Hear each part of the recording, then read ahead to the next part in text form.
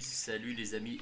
Alors comme promis, chose promis, chose due, on va se retrouver pour une petite vidéo euh, toujours sur The Fisher Online pour euh, aller capturer nos amis les cendres.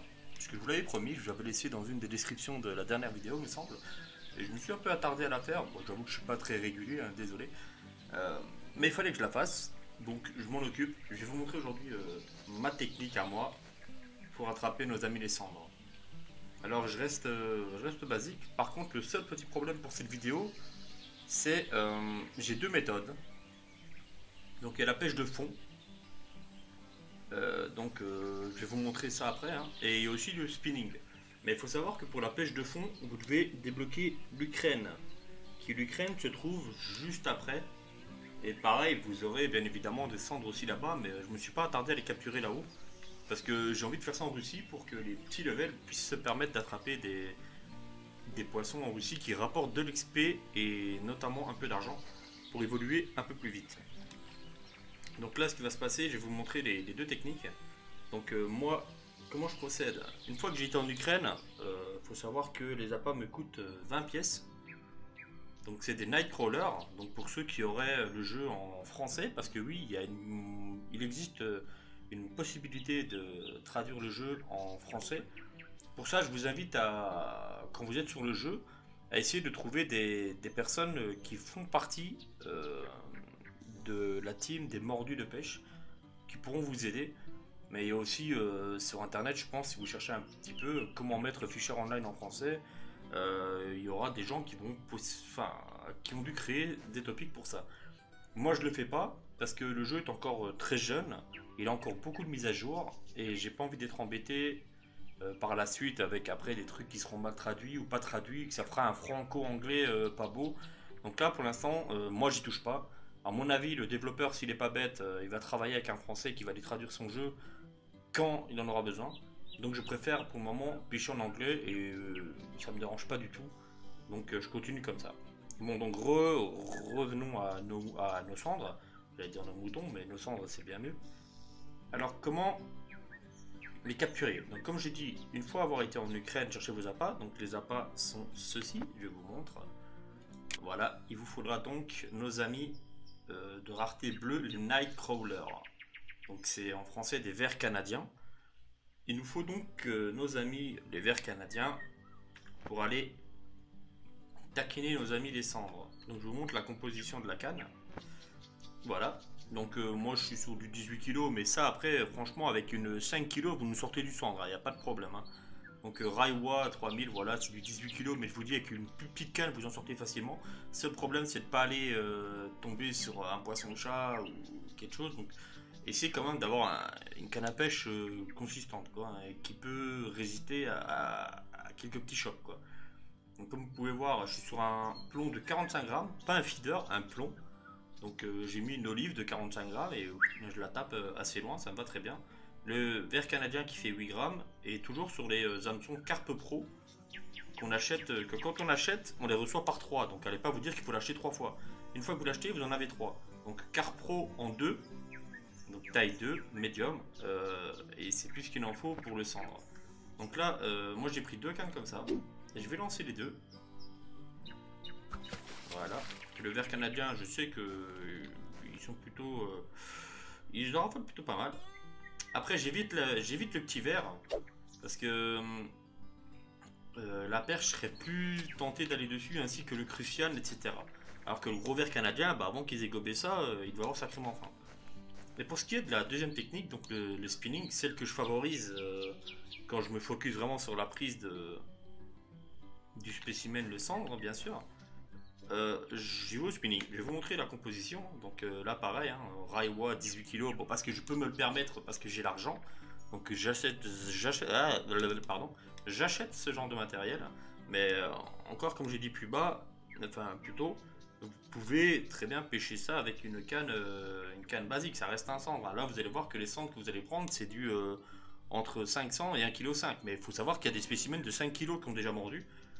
Donc euh, équipez-vous quand même de façon à avoir quelque chose de correct. Voilà. Donc là, vous pouvez voir que je suis sur un leurre de 12 grammes. Alors que là, c'est trop léger. hein. Je pourrais très bien, normalement, là, taille 15-30, je devrais être au-dessus. Je devrais être avec du allez, 18 grammes. Là, j'y vais en 12 pour favoriser justement euh, le cendre qui mordra plus facilement sur du 12 que sur du 18 ou du 25. Donc euh, moi, comme convenu, comme d'habitude, je suis encore en Russie, la map de Russie, mais toujours au même endroit. Donc si on dézoome, vous voyez qu'on démarre ici, je longe tout ça, je remonte et je vais là-bas. Je prends pas le bateau, ça sert à rien. il est tout à fait inutile d'y aller en bateau. Et donc voilà, même endroit. Alors, un truc très très important, euh, ne tentez pas le cendre la journée. Euh, vous aurez très très peu de chances d'en faire. Attendez la tombée de la nuit. Là, vous voyez que j'ai attendu 21h. Là, il va être 22h. C'est le bon moment pour le cendre. Hein. Mais il faut savoir que la nuit, euh, le poisson-chat est aussi pas mal actif. Donc là, on va, on va tenter d'aller taquiner le cendre au spin. Et je vais vous montrer mes deux techniques que j'utilise pour justement cela. Mais d'abord, on va régler Problème de la petite canne là. On va aller voir ce qu'il a vendu. Peut-être une surprise, hein, peut-être un cendre. Mais à mon avis, ça sera plus une brème. Mais je dis pas non pour le cendre. Comme ça, je vous montre en vidéo que euh, le cendre est très très présent la nuit aussi. Alors, qu'est-ce que ce sera donc? Déjà, ça se débat pas. Et donc, ce sera une petite brème. Oui, les brèmes sont friandes du verre canadien aussi. Voilà. Hop. Donc voilà, on va laisser ça comme ça. Et je vais vous montrer le spin. Alors moi le spin, euh, je vise entre ce, cet arbre mort là-bas en face de moi, une en face de ma canne, et je vise entre celui-là. Voilà, ça c'est ma zone de pêche. Donc là on va commencer par là-bas. Alors, une chose importante, une fois que j'ai lancé, euh, j'attends que j'ai confirmation tout en bas, voilà ici, hitting the bottom. Ça, ça veut dire que mon leurre a touché le fond. Donc là, euh, je peux commencer à ramener. Et euh, il faut savoir qu'il y a deux méthodes pour ramener. Donc il y a le, jig, la méthode que je pratique maintenant. On ne s'arrête pas de mouliner, clic gauche, surtout on n'accélère pas, ça sert à rien. Et on met des petits coups de clic droit, donc euh, des petits coups de canne comme ça. Voilà, de temps en temps, assez régulier, et on pratique le jig. Voilà, ça c'est la pêche au jig. Et c'est une pêche qui porte ses fruits pour certains poissons certaines pêches, euh, mais ici c'est pas celle que je vais favoriser. Je vais favoriser euh, le step by step. Et je vais vous montrer comment on procède pareil. Donc là, hop, on relance, toujours à fond. Hein. N'hésite pas, il faut aller chercher plus loin. En fait, il faut aller vraiment chercher les zones reculées ici, les zones bleues foncées, pour le cendre qui est en eau profonde, qui aime bien ça. Et donc là, ici, le step by step, c'est quoi? C'est les deux clics en même temps. Hop là, j'attends. Hop, deux clics. Hop, les deux clics en même temps, à chaque fois comme ça. Mais on laisse un temps d'arrêt voyez, après, c'est à vous de laisser un peu plus court, un peu plus long. Moi, je laisse quand même, euh, voilà, je le fais quand même assez régulièrement. Mais toujours les deux clics en même temps. Et ça, en fait, c'est le step by step. Ça permet de donner des petits à-coups. Et ce qui est beaucoup plus attractant pour descendre. Hein. Voilà. Donc là, on a la touche. Pas besoin de ferrer. Hein. Vraiment, une fois qu'il est parti, il a pris, il a pris. Hein. Euh, il est piqué au travers de la bouche, le garçon, il bougera pas. Donc là, voilà, là vous avez astuce. Hein. Là, je vois que ça tire pas fort, hein, donc je sais tout de suite que, c'est mon copain le cendre. Hein. Voilà, donc vous pouvez voir, cendre, 240 d'XP de base. Moi, j'ai le premium, donc je monte à 360 d'XP. 869 grammes, c'est plutôt, euh, voilà, c'est plutôt une belle bête, vous pouvez voir. Il est pas, voilà, c'est un beau cendre, voilà. Et après, euh, vous avez vu, le jig, ça n'a pas trop donné. Je suis passé au step by step, euh, j'ai eu une touche directe. Donc là, après, c'est ça à vous de voir. La nuit, la nuit, vous serez pas embêté par les brochets. Hein.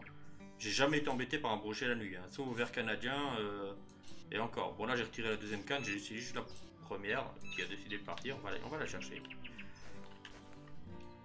Ah, donc là, c'est déjà un peu plus gros. Donc là, vous allez peut-être pouvoir voir que euh, il y a éventuellement des beaux poissons. Donc je pense plus pour le poisson chat là, puis la touche. et vu comment ça se traîne sur le fond, serait plutôt un poisson-chat. Ou un gros burbeau. Vous voyez, les burbeaux aussi euh, sont plutôt friands du verre canadien. Donc on va voir. Hein. Surprise. Moi je pense plutôt pour le poisson-chat. Il commence à se balader en bas. Après il met des beaux petits coups de tête quand même. Hein. vous pouvez voir hein, que mon moulinet euh, prend quand même une sacrée claque. La barre du moulinet tout en bas. Euh, elle se charge plutôt bien. C'est vraiment de belles claques. Mais là, je pense à un poisson-chat. Un poisson-chat est pas très pas très bavard. Hein. Et puis pas très joueur non plus. il court pas partout. Sauf que là, ben, c'est Madame la Brème, une très très très grosse Brème. Voilà, 4 kg la Brème, donc je vous mens pas, un verre canadien, euh, ça fait le taf. Hein. donc euh, vous aurez en même temps la démonstration de comment choper une belle Brème. Voilà. Bah, après, par contre, la Brème ne rapporte pas beaucoup d'XP, mais euh, au ce qui est du niveau de, de l'argent, elle peut en ramener pas mal. Bon, on, va essayer de finir un peu avec, avec ça là. Donc, toujours hein, les deux clics en même temps. Hop là. Pas l'un après l'autre, hein, vraiment en même temps, synchro. Et voilà. Et on met des petits à coups. Et on y va. Et on ramène. Pas besoin d'accélérer, hein. Il n'y a pas besoin d'une pêche euh, rapide. Hein. C'est vraiment, voilà, on ramène. On attend bien, quand on a lancé, on attend bien le message. Oui, ben madame, vous allez attendre. Je ramène cette canne et je vous ramène. Donc là, par contre, ça a l'air de bien se balader. Je vais quand même y aller. Ça tire pas le frein, donc il n'y a pas urgence. Tant que votre frein gueule pas, il n'y a pas urgence hein, sur le jeu. Une fois qu'il est piqué, il est piqué le bonhomme. Il ira pas bien plus loin. Mais je vais le ramener quand même. Bon, après je vais pas le relancer parce que j'aimerais bien vous montrer pour le cendre. Sinon on va être embêté. Voilà, ça bouge un peu. Donc à mon avis, c'est pas... C'est pas une brème. Ou alors elle, balade. Et ça m'a pas l'air d'être une brème. Vous verrez après au fur et à mesure, vous allez vous habituer. Hein. Quand vous allez voir comment bouge votre fil, vous allez savoir quel type de poisson suivant ce que vous cherchez. Hein. Là, vous pouvez voir que en l'occurrence, c'est une petite perche. Voilà. Donc les perches aussi, euh, les belles perches viennent dessus. Euh, je vais la garder quand même. Voilà, et on va la laisser hors de l'eau. Voilà, allez on continue le jag, le, step by step. Voilà, donc on a encore la touche. Je l'avais vu avant, mais j'étais pas sûr. Mais là on a encore la touche. Vous avez vu un step by step, euh, ça porte ses fruits. Hein. Venez ici la nuit chasser le cendre et euh, vous ferez du résultat. Il faut savoir que j'ai déjà été agréablement surpris. Et que voilà, 1 kg 100, vous voyez, c'est une belle bête, hein, 370 d'XP encore, 248 pour ceux qui n'ont pas le premium, franchement, euh, c'est pas négligeable. Alors moi j'ai déjà été agréablement surpris, sachant que j'ai déjà fait du sterlet. Oui, oui, du sterlet avec, euh, avec le leurre, donc ça veut dire que par chance, vous pourriez tomber aussi sur, sur un, petit sterlet, voilà. Donc là, je refais encore un petit lancer pour vous montrer que c'est bien fonctionnel. Après, on va aller euh, à la revente pour que vous voyez euh, combien je le revends. Après, il faut savoir qu'il me semble qu'à la revente, on va, on, va, vérifier pour en être sûr, mais il me semble qu'à la revente aussi, euh, on gagne un petit pourcentage de pièces hein, par rapport à ce que vous gagnez quand vous n'avez pas le premium. Après, le premium est à 5 euros. Je le trouve pas cher, hein, comme j'ai déjà dit dans une précédente vidéo. Je le trouve pas cher du tout, même très très abordable. Et, et franchement, je m'en plains pas du tout. il est il fait son taf en fait. Le premier, pour ceux qui pêchent beaucoup, je vous le conseille. Pour ceux qui viennent pour s'amuser, je vous le conseille pas. Voilà, c'est aussi simple que ça. Mais euh, moi, faut dire qu'il fait, il, fait bien son taf. Il aide, il aide bien au niveau de l'XP et euh, au niveau du reste. Pour l'argent surtout, l'argent. Vous allez voir que vous allez vite en avoir besoin pour acheter du matériel euh, conséquent. Donc, moi j'ai déjà fait ma quête journalière, comme je vous l'ai dit dans toutes les vidéos, n'oubliez pas la quête journalière. Elle rapporte énormément d'argent, en Russie du moins. Euh, quand, vous aurez, quand vous atteindrez la Pologne, moi je vous conseille de vous équiper d'une canne, euh, canne à la mouche. Et elle va grandement vous aider, même ici. Hein. Même ici, vous allez faire des beaux poissons à la mouche, notamment des chevennes. Donc, ah, je sais plus, des chubs, voilà, des chubs, ils appellent ça ici. Donc ça c'est les chevennes et vous allez en faire euh, pas mal à la, pêche à la mouche. Je vous montrerai peut-être ça dans une prochaine vidéo. Bon là on n'aura rien, hein. Hop, on va relancer une dernière fois, enfin dernier lancé et après, euh, après on ira voir. Donc euh, pourquoi pas vous... En fait dites-moi dans les commentaires ce que vous préfériez voir, soit la pêche à la mouche en Pologne, ou est-ce que vous préfériez voir plutôt comment s'y prendre avec le flotteur dès le début. Donc sur les premiers, sur les premiers la, toute première euh, carte, donc euh, je sais plus c'est où, Biélorussie, euh, si je ne dis pas de bêtises. Comment s'y prendre au flotteur, peut-être pour les gens qui débutent et qui aimeraient bien voir pour faire du poisson facilement. Je pourrais potentiellement faire une petite vidéo là-dessus. Donc dites-moi en commentaire ce que vous préférez voir. Et puis donc soit la mouche ou soit, soit vous montrer comment procéder en Biélorussie pour se faire assez vite assez d'expérience pour quitter cet endroit.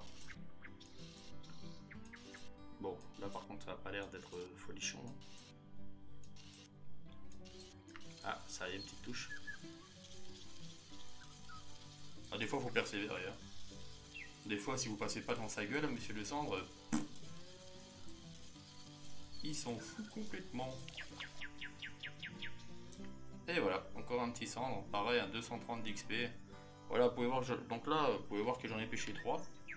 Euh, on va retourner voir combien ça, combien ça rapporte. Et puis, euh, et puis vous verrez par vous-même que ça peut être plutôt pas mal. Bon, là, j'en ai pas pris beaucoup, hein, j'en ai pris 3, c'est vraiment pour vous montrer. Mais euh, voilà, dites-vous qu'un panier complet, euh, voilà, à coup de... Vous avez vu à la vitesse à laquelle je les sors, 4, 3, 3. les grosses brèmes, 12. Euh, les titres, voilà, hein, ça va assez vite. Par contre, je voulais juste vérifier un truc, c'est par rapport au VIP. Voilà, qu'est-ce qu'il rapporte Gain d'expérience, plus 50%. pour les quêtes remplies, plus 25%. Time out des new, des new quêtes. Et voilà, le coût en des poissons vendus plus 25%. Donc il faut savoir qu'apparemment là ça me rajoute un quart de la somme. Bon le jeu a décidé de quitter lui-même, mais on va, s'arrêter là de toute façon. Il faut savoir que tous les jours les serveurs rebootent, si je ne dis pas de bêtises, à 2h du matin, pour rafraîchir un peu tout. Donc 2h du matin il y a des reboots ainsi que vers midi, un truc comme ça, il y a encore un autre reboot. Donc les amis, euh, vous avez vu comment pêcher notre magnifique cendre. Donc comme je vais me répéter, mais dites-moi en commentaire ce que vous préférez euh, comme prochain sujet de, vidéo, soit la mouche, ou alors euh, comment bien débuter euh, en Biélorussie. Et puis ben moi je vous dis à une prochaine. je vous souhaite de choper tous les cendres que vous désirez. Et puis, et puis bah, amusez-vous quoi. Allez, sur ce, salut, bisous et à bientôt.